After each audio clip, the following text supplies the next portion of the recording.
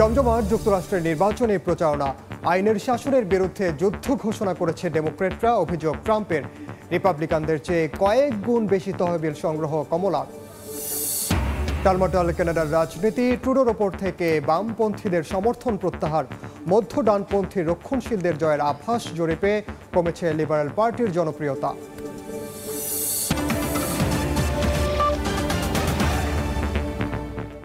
আন্তর্জাতিক সময়ের সঙ্গে আছি আমি ওমর ইনাম। এবার যুক্তরাষ্ট্রের সীমান্ত সংকট ও দেশটিতে সংঘটিত অপরাধের জন্য ডেমোক্র্যাট প্রার্থী কমলা হ্যারিসকে দায়ী করেছেন ডোনাল্ড ট্রাম্প।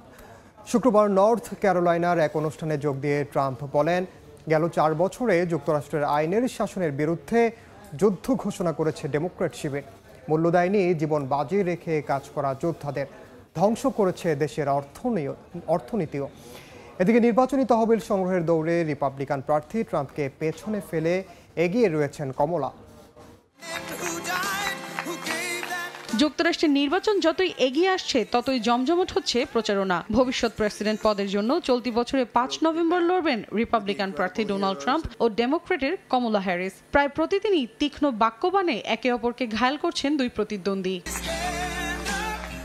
স্থানীয় সময় শুক্রবার নর্থ ক্যারোলাইনার শ্যালেটে নিরাপত্তা বাহিনীর একটি অনুষ্ঠানে যোগ দেন ডোনাল্ড ট্রাম্প। এ সময় মার্কিন সীমান্ত সংকট এবং দেশের মাটিতে সংঘটিত অপরাধের জন্য কমলা হ্যারিসকে দায়ী করেন তিনি। বলেন, গেল চার বছরে ডেমোক্রেটরা যুক্তরাষ্ট্রের আইনের শাসনের বিরুদ্ধে যুদ্ধ ঘোষণা করেছে। দেশকে এগিয়ে নিতে যারা জীবন বাজি রেখে কাজ করেছেন, তাদের কোনো মূল্য দেয়া হয়নি। The day I take office is the day that Kamala's crime wave comes to an end. It's a crime wave. You know, all of the, the problems that we have, and they list them.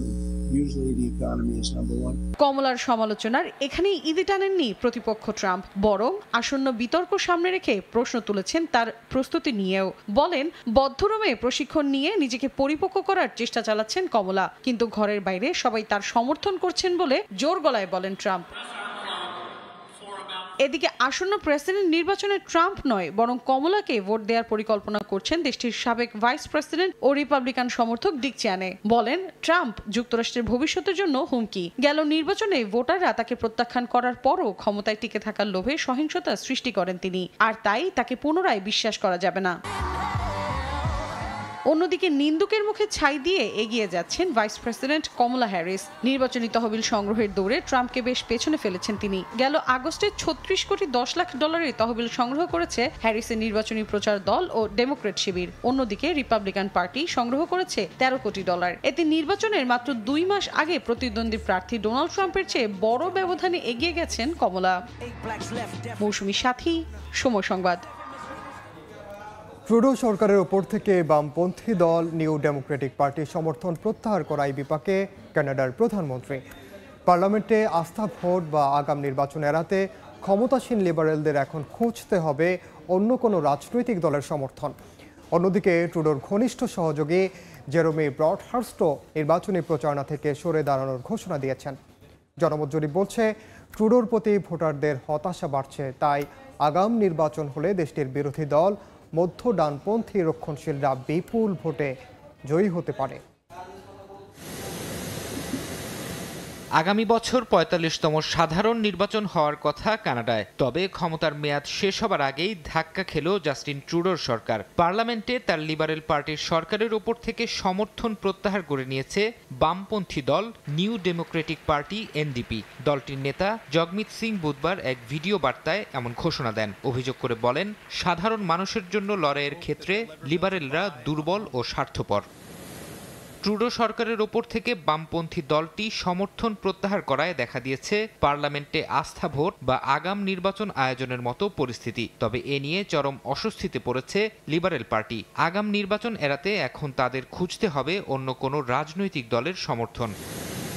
এখানেই শেষ নয়। Liberal সরকারের এমন নাজুক অবস্থায় ট্রুডোর ঘনিষ্ঠ সহযোগী জেরোমি ব্রডহার্স আরও বিপাকে ফেলেছেন দেশটির প্রধানমন্ত্রীকে। লিবারেল পার্টির নির্বাচনী প্রচারণার পরিচালকের দায়িত্ব থেকে সরে দাঁড়ানোর ঘোষণা দিয়েছেন ব্রডহার্স্ট। দেশটির গণমাধ্যম টরেন্টো স্টার লিখেছে, ব্রডহার্স্ট মনে করছেন, আগামী নির্বাচনে ট্রুডোর জয়ের সম্ভাবনা নেই।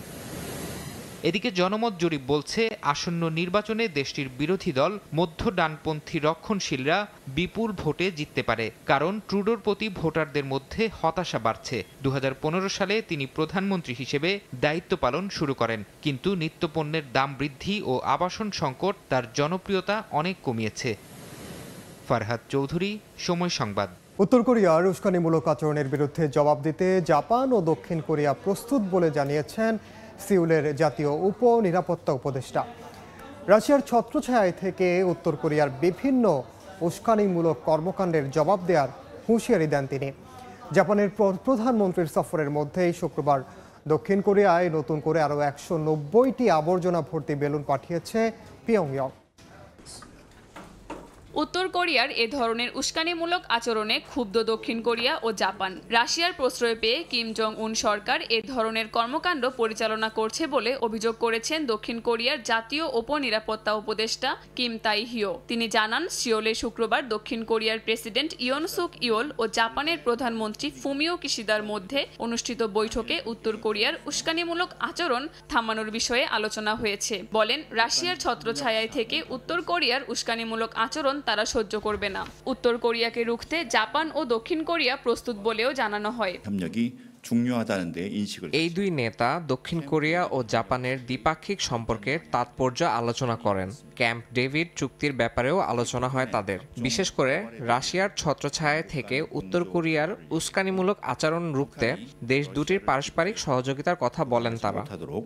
냉정한 대비 태 আগামী সাতাশ সেপ্টেম্বর প্রধানমন্ত্রীর পদ ছাড়ার ঘোষণা দিয়েছেন জাপানের প্রধানমন্ত্রী ফুমিও কিশিদা তবে তিনি ক্ষমতায় না থাকলেও দক্ষিণ কোরিয়া ও জাপানের মধ্যে বন্ধুত্বপূর্ণ সম্পর্ক বজায় থাকবে বলে জানানো হয় কোরীয় উপদ্বীপে শান্তি প্রতিষ্ঠার কথা জানান দুই নেতা কাকুলি আখতার সময় সংবাদ সৌদি আরবে সড়ক দুর্ঘটনায় দুই বাংলাদেশি নিহত হয়েছেন আহত হয়েছেন আরও অন্তত নয়জন শুক্রবার সৌদি আরবের কুয়েত বর্ডারের কাছাকাছি সাফানিয়া নামক এলাকা থেকে রিয়াদ যাওয়ার পথে গাড়ি উল্টে এ দুর্ঘটনা ঘটে। আহতদের অবস্থা গুরুতর বলে জানিয়েছে স্থানীয় হাসপাতাল কর্তৃপক্ষ। জানা গেছে দুর্ঘটনায় গাড়ির চালক ও এক যাত্রী প্রাণ হারিয়েছেন। তবে আহতদের পরিচয় এখনও জানা যায়নি। দেখছেন আন্তর্জাতিক সময়। ভারতের মহারাষ্ট্র একটি সেমিকন্ডাক্টর প্রকল্পে আটশো উনচল্লিশ বিলিয়ন রুপি বিনিয়োগ করবে ইসরায়েলি প্রতিষ্ঠান। টাওয়ার সেমিকন্ডাক্টর ও আদানি গ্রুপ। বৃহস্পতিবার এক এক্স বার্তায় এ কথা জানান মহারাষ্ট্রের মুখ্যমন্ত্রী একনাথ শিন্ডে। তিনি জানান, এক দশমিক এক সাত ট্রিলিয়ন রুপির এই প্রকল্পটি অনুমোদন দেওয়া হয়েছে। এতে রাজ্যে উনত্রিশ হাজার মানুষের কর্মসংস্থান হবে। বার্তা সংস্থা রয়টার্স জানায়, বন্দর, পাওয়ার, ইউটিলিটি, ট্রান্সমিশন ও কয়লা বাণিজ্যের পর সবশেষ সেমিকন্ডাক্টর ম্যানুফ্যাকচারিং ব্যবসায় নামছেন ভারতীয় বিলিয়নিয়ার গৌতম আদানি। এছাড়া ভারতকে চিপ মেকার হিসেবে গড়ে তুলতে সারা বিশ্বের বড় বড় কোম্পানিকে দেশটিতে তাদের উৎপাদন ইউনিট স্থাপনের জন্য উৎসাহিত করার বিভিন্ন পদক্ষেপ নিচ্ছেন ভারতীয় প্রধানমন্ত্রী নরেন্দ্র মোদী। ধারণা করা হচ্ছে দু হাজার ছাব্বিশ সাল নাগাদ দেশটির সেমিকন্ডাক্টর বাজার তেষট্টি বিলিয়ন ডলারে দাঁড়াবে। চলচ্চিত্র জগৎ ছাপিয়ে এবার রাজস্ব খাতেও নিজেকে শীর্ষে নিয়ে গেলেন বলিউড বাদশাহ শাহরুখ খান। ভারতের ব্যবসা ভিত্তিক ওয়েবসাইট ফরচুন ইন্ডিয়ার একটি তালিকা অনুসারে দু হাজার তেইশ চব্বিশ অর্থ বছরে বিরানব্বই কোটি রুপি কর দিয়ে ভারতীয় তারকাদের মধ্যে সর্বোচ্চ করদাতা হয়েছেন তিনি। আশি কোটি রুপি কর দিয়ে এই তালিকায় শাহরুখের পেছনে আছেন তামিল অভিনেতা বিজয়। আর পঁচাত্তর কোটি রুপি কর দিয়ে তৃতীয় স্থানে সালমান খান ও একাত্তর কোটি রুপি কর দিয়ে চতুর্থ স্থানে রয়েছেন অমিতাভ বচ্চন।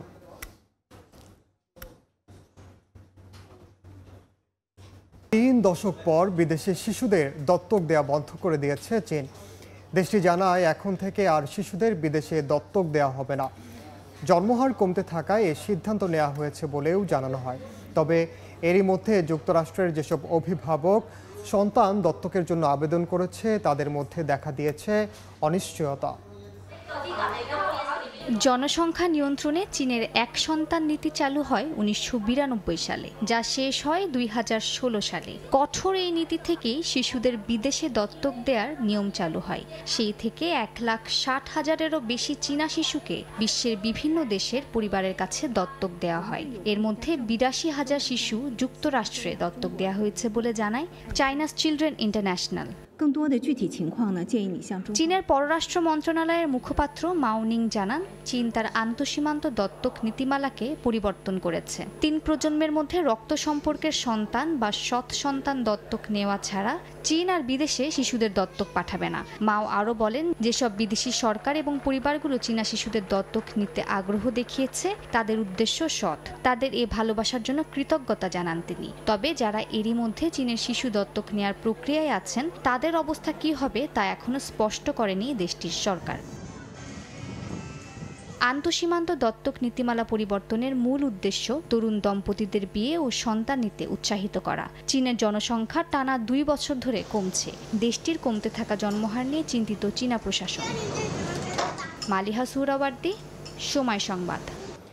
ইতালির রোমের ট্রেভি ফাউন্টেনে পর্যটকদের প্রবেশ সীমিত করার ঘোষণা দিয়েছে স্থানীয় প্রশাসন।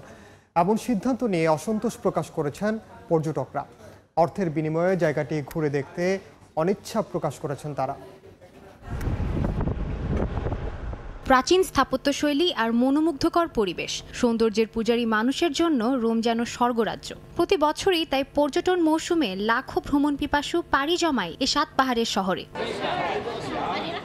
এই পর্যটন শহরের অন্যতম আকর্ষণ ট্রেভি ফাউন্টেন। প্রচলিত বিশ্বাস অনুযায়ী এই ফোয়ারাতে পয়সা ছুড়লে পুনরায় এই শহরে ঘুরতে আসার সুযোগ হয়। প্রতি বছর তাই এখানে হাজার হাজার দর্শনার্থী ভিড় জমান। তবে এই বছর অসাধারণ পর্যটন কেন্দ্রে সীমিত করে আনা হবে দর্শনার্থীর সংখ্যা। এতে অসন্তোষ বেড়েছে পর্যটকদের মধ্যে।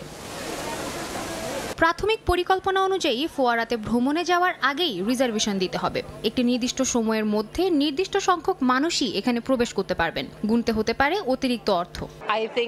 প্রতি বছর অনেক মানুষ এই ফোয়ারায় পয়সা ফেলে। সেখান থেকেই তাদের লাখ লাখ উপার্জন হয়। তবু অর্থের বিনিময়ে পর্যটকদের ঢুকতে দেওয়ার এই সিদ্ধান্ত অমূলক। এটা অসম্ভব। এত এত দর্শনার্থীদের কেউই এর পক্ষে সায় দিবে না।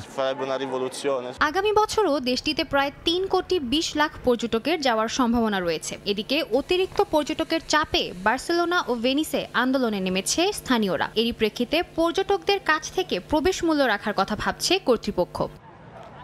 সাদিয়া তাসনিম, সময় সংবাদ।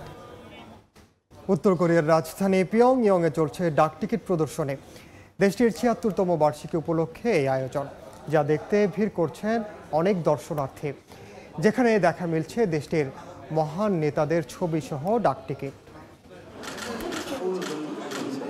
দর্শনার্থীরা ঘুরে ঘুরে দেখছেন সর্বোচ্চ নেতাদের ছবি। নিজ দেশের ঐতিহ্যবাহী পোশাক পরে হাসি মুখে ঘুরে দেখছেন ঐতিহাসিক স্মৃতি সম্বলিত জায়গাটি। এই প্রদর্শনীতে সারি সারিভাবে সাজানো রয়েছে দেশটির জাতির মহান নেতাদের ছবিসহ ডাকটিকিট এক তরুণীকে আবার দেখা যাচ্ছে বেশ মনোযোগ দিয়ে নানা ধরনের ছবিসহ কার্ড বাছাই করতে। উত্তর কোরিয়ার রাজধানী পিয়ংইয়ংয়ে চলছে ডাক টিকিট প্রদর্শনী। দেশটির ছিয়াত্তরতম বার্ষিকী উপলক্ষে করা হয়েছে এই আয়োজন, যা দেখতে ভিড় করেছেন দর্শনার্থীরা। পোস্টকার্ডগুলোতে কিম জং উনের ছবির পাশাপাশি আরও আছে দেশটির স্থপতি কিম ইল সুংয়ের ছবিও। আগত দর্শনার্থীরা সবাই যেন খুব আগ্রহী দেশটির নেতাদের সাফল্যের ব্যাপারে জানতে। দেখা মিলছে মহান নেতাদের সঙ্গে যোদ্ধাদের হাসি মুখের ছবিও এই প্রদর্শনীতে প্রচুর সংখ্যক ডাকটিকিট প্রদর্শিত হচ্ছে। এগুলো জাতির মহান নেতাদের দ্বারা রাষ্ট্র নির্মাণের অমর সাফল্যের স্মৃতিচারণ করে। সেই সঙ্গে রাজনীতি অর্থনীতি সাময়িক বিষয়গুলোর মতো সমস্ত ক্ষেত্রের সাফল্যকে চিত্রিত করে। উত্তর কোরিয়ার রাষ্ট্রীয় গণমাধ্যম কেসিএনএ জানায়, স্থানীয় সময় বৃহস্পতিবার শুরু হওয়া এই প্রদর্শনী চলবে সেপ্টেম্বরের এগারো তারিখ পর্যন্ত। অর্জিতা শাহজিন, সময় সংবাদ। রাগ কমানোর অভিনব এক কায়দা খুঁজে বের করেছেন ইসরায়েলি নাগরিকরা। হামাস ইসরায়েলের চলমান দ্বন্দ্বের প্রভাবে দুশ্চিন্তাগ্রস্ত সাধারণ ইসরায়েলি জনগণ ছুটে যাচ্ছেন রেইজ রুমের দিকে। রাগের মাথায় ভাঙচুর করার অভ্যাস যাদের, তাদের জন্য এই প্লেট, কিবোর্ড ও প্রিন্টারের মতো বিভিন্ন জিনিস দিয়ে সাজানো হয়েছে এই রুম কিছু অর্থের বিনিময়ে চাইলেই সেই রেজ রুমে গিয়ে জিনিসপত্র ভাঙচুর করে কমানো যাবে রাগ।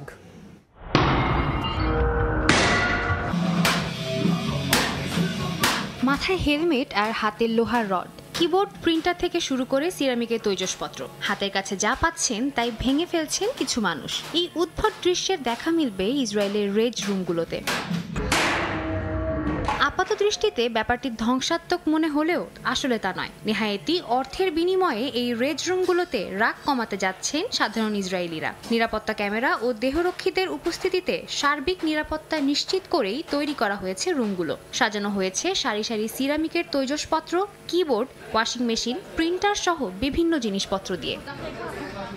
সাতই অক্টোবরের হামলার পর থেকেই সাধারণ ইসরায়েলিদের মনে শঙ্কা ও দুশ্চিন্তা জায়গা করে নিয়েছে। পাল্লা দিয়ে বাড়ছে হতাশা ও রাগ। এই নেতিবাচক অনুভূতিগুলো থেকে নিষ্কৃতি পেতেই রেজ রুমে শরণাপন্ন হচ্ছেন তারা। মনে হচ্ছে ভিতরে জমে থাকা একটা কিছু থেকে মুক্তি পেয়েছি। সেই অক্টোবরের সাত তারিখ থেকেই মনে হচ্ছে বুকের ভেতর একটা কিছু আটকে আছে। আমি জানি কিছুক্ষণের মধ্যেই আমাকে আবার বাস্তবে ফিরে যেতে হবে। তবুও কিছুটা সময়ের জন্য হলেও আমি স্বস্তির নিঃশ্বাস নিতে পেরেছি। রেড রুমের শুরুটা মজার ছলে হলেও হামাজ ইসরায়েল চলমান দ্বন্দ্বে এর জনপ্রিয়তা বেড়েছে বলে জানায় প্রতিষ্ঠানটির কর্ণধার। হঠাৎ করেই মানুষ তাদের রাগ হতাশা ও দুঃখ থেকে মুক্তি পেতে রেজ রুমে আসতে শুরু করেছেন। অনেকে কাঁদতে কাঁদতেও রুম থেকে বের হচ্ছেন একটা সময় জানতে পারলাম অনেকেই তাদের থেরাপিস্টের পরামর্শে আমাদের এখানে এসেছেন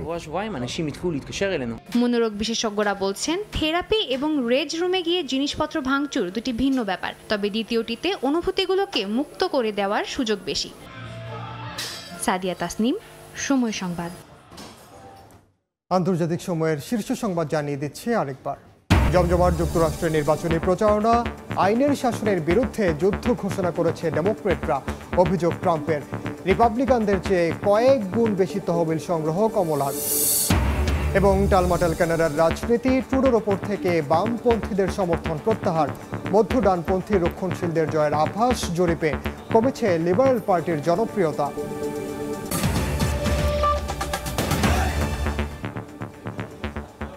এ ছিল আন্তর্জাতিক সময়ের সঙ্গে থাকুন সময়ে।